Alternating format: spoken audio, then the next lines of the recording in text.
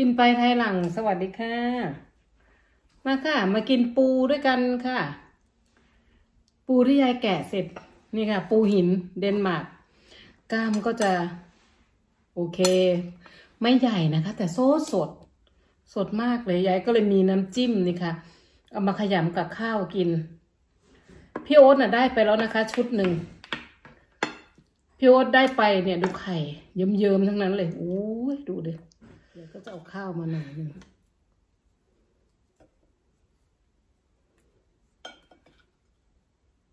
ตักข้าวมาไว้ทีละหน่อยก่อนเนาะ แล้วก็ตักมันำจิ้มมาราด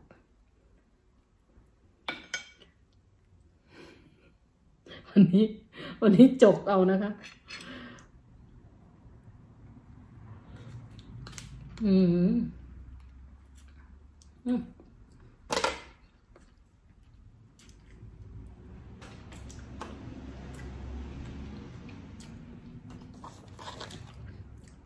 ปูหินค่ะ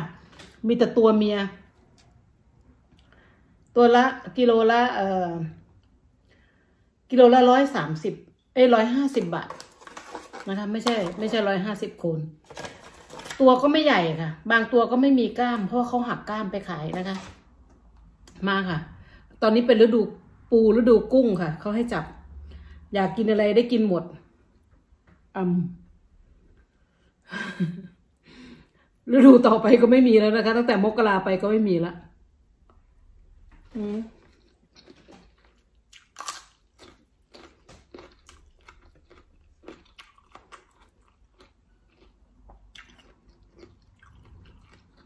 เนี่ยค่ะที่ยายยืนแคะอยู่ อืม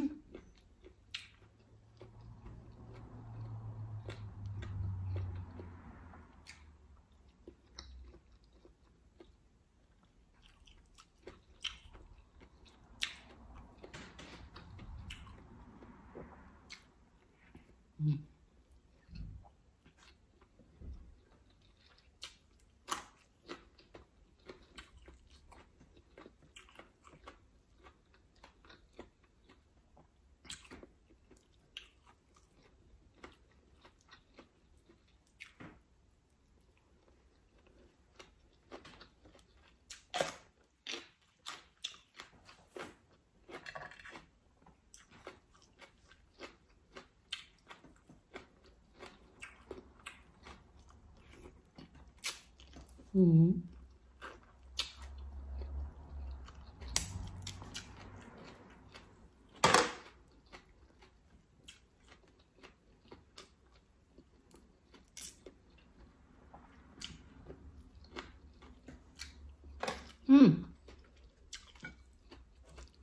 ที่เดนมาร์กเปิดประเทศแล้วนะคะ เปิดประเทศแล้วไม่ใส่แมส ไม่มีการป้องกันเพราะว่าคนเขาฉีดยา ฉีดวัคซีนโมเดอร์นาไฟเซอร์นะคะสองชนิด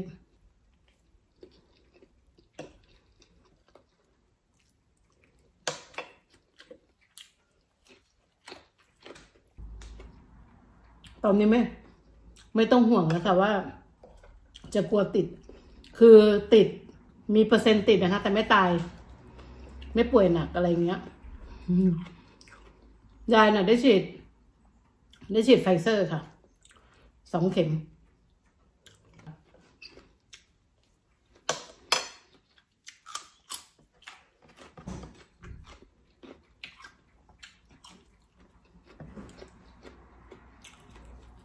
อันเนี้ย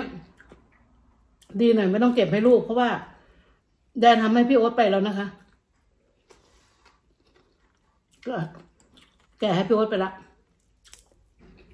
วันนั้นอะ พี่โอ๊ตได้กุ้งล็อบสเตอร์ไปประมาณสามตัว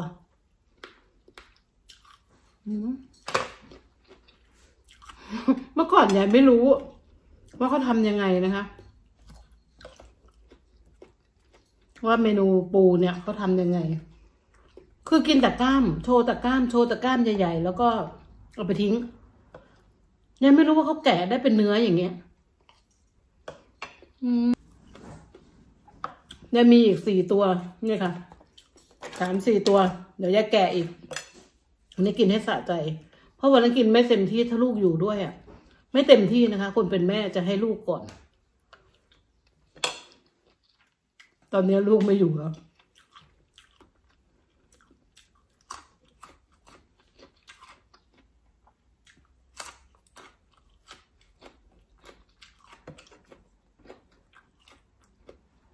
อืม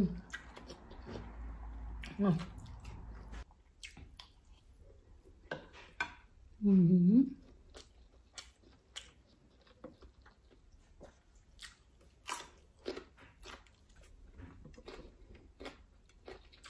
ทำบะหมี่ปู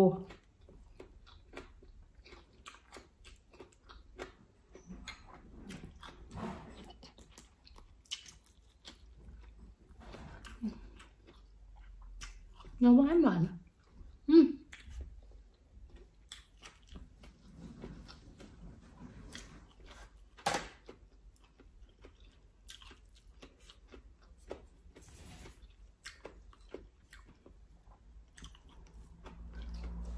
ความเป็นแม่เนาะพอลูกนั่งกินด้วยเนี่ย ให้ลูกกินเยอะกินไม่ลงค่ะกินไม่ได้จริงๆแต่ถ้าอยู่คนเดียวทำไมมันอร่อยอย่างนี้ไม่รู้อืมขอบคุณทุกๆคำอวยพรนะคะ ขอบคุณมากๆค่ะ ขอบคุณทุกคำอวยพรนะคะสำหรับวันเกิดยายแล้วก็พี่โอ๊ต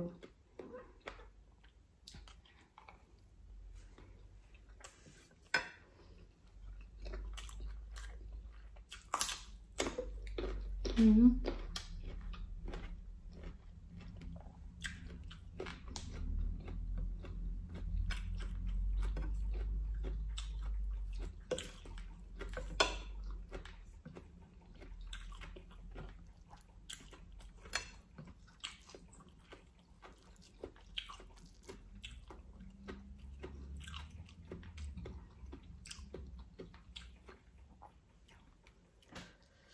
อ้ขอโทษนะคะพี่โอ๊ตแม่ขอโทษค่ะพี่โอ๊ตแม่ผิดไปแล้ว โอ้ย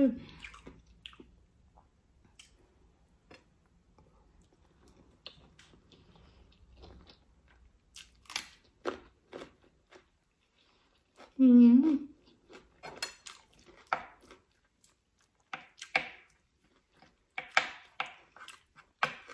มีความสุข ข้าวจะหมดหมดจานแล้ว อืม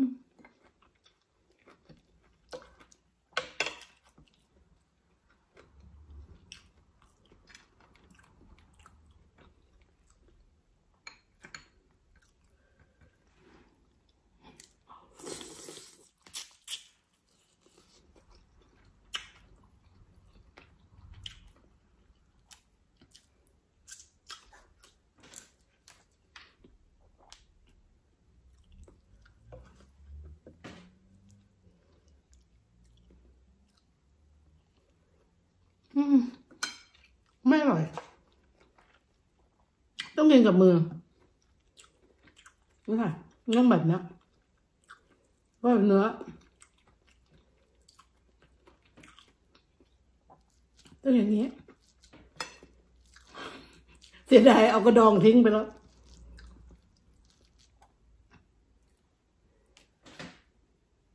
อ้ำ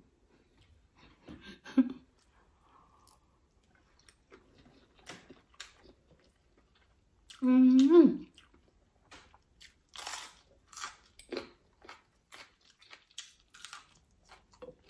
อืม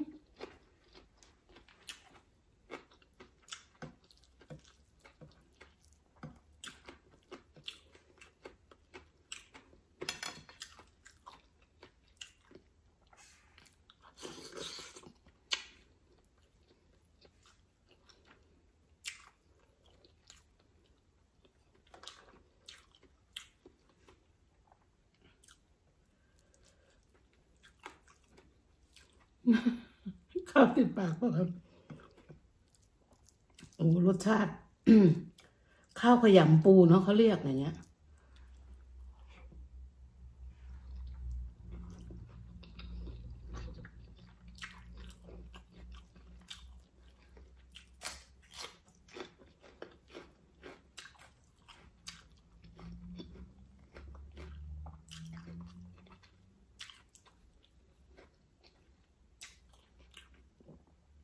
อ เหลือข้าวดีกว่า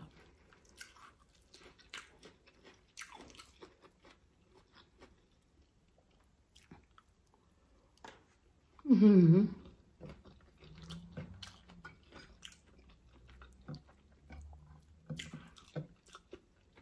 เริ่มจะเวียนเวียนแล้วที่เหลือเนี่ยนี่นะคะยายก็จะเอาไปใส่ช่องแข็งไว้ ก็คือทำแบบเป็นแบบสุญญากาศนะคะ เก็บไว้แล้วก็ผัดข้าวผัดปูให้แฟนยายกินนะคะอืมอืมเดี๋ยวยาแกะเองทั้งหมดเนะให้แกเอาเนื้อให้แกแกกินไข่ไม่เป็นนะคะฝรั่งอะฝรั่งกินไข่ปูไม่เป็น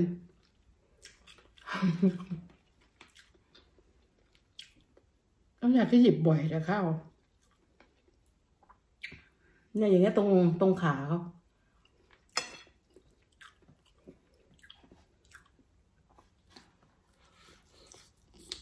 อืม เดี๋ยวยายมีอีกนะคะอย่าว่าอยากกินหมด เดี๋ยวยายมาให้ดู นี่ค่ะ เอาไว้ให้แฟนยายกิน เดี๋ยวอย่าหาว่ายายกินหมดอยู่คนเดียวนี่ค่ะไม่แต่ก้ามใหญ่ๆยายจะเอาไว้ อุ่นแล้วก็ผัดข้าวผัดให้แฟนยายกินหลังจากแกเลิกงานนะคะ อันนี้ยายก็ระเรงไปคนเดียวก่อนค่ะไม่ดูสิ เก็บไว้ให้สามีมีแต่กล้ามใหญ่ๆ อืมนี่แหละค่ะ เดี๋ยวไม่รู้ว่า โอ้ทำไมยายกินหมด ยายไม่กินหมดนะคะ ยายเป็นคนที่อะไรเราก็ต้องให้เขากินไปกับเรา อยากให้เขาอร่อยไปกับเรานะคะ แต่ใครนะเขากินไม่เป็นยายก็เลยเอามาฟาดเรียบเลยค่ะ อืม อืม อืม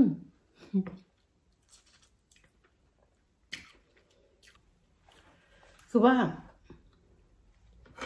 ตอนเนี้ย ตั้งแต่ยายฉีดวัคซีนไปนะคะเออสองเข็ม เข็มที่สองนี้รู้สึกว่าจะจะหนักกว่าเพื่อนก็คือแบบว่า ทั้งปวดหัวเวียนหัวอาการเหมือนที่ว่าเขาบอกว่าเป็นโควิดเลยอะแล้วก็ท้องเสีย แล้วเป็นอยู่ไม่นานค่ะ เป็นอยู่วันเดียวสองวันแล้วก็หาย แล้วเวลาก่อนก่อนที่จะเปิดประเทศนะคะเขาทำยังไงรู้ไหมคะเขาให้ทุกคนเนี่ย เวลาที่จะไปนั่งร้านอาหาร จะต้องมีพาสปอร์ตนะคะ หรือเขาเรียกโควิด pass นั่นเอง ซึ่งมันจะอยู่ในแอป เราต้องไปดาวน์โหลดแอปมา ก็จะเป็น QR code นะคะเวลานั้นเราก็จะไปโชว์ให้เขาดู โชว์ให้ร้านอาหาร โชว์ให้สถานที่ที่เขาต้องการให้เราโชว์นะคะ เออนี่นะคะ ฉัน มี QR code แล้วคุณก็โชว์ให้เขาดูอะไรอย่างเงี้ยว่า แต่หลังจากฉีดเข็มแรกนะคะสิบสี่วันคุณถึงจะได้ ได้ QR code หรือว่าโควิดพาสยายก็เออใช้เวลาไปกินข้าว ใช้เวลาไปสถานที่ราชการเนี้ยก็จะโชว์ให้เขาดู สถานที่ที่เขาบอก เธอต้องโชว์นะ อะไรอย่างเงี้ย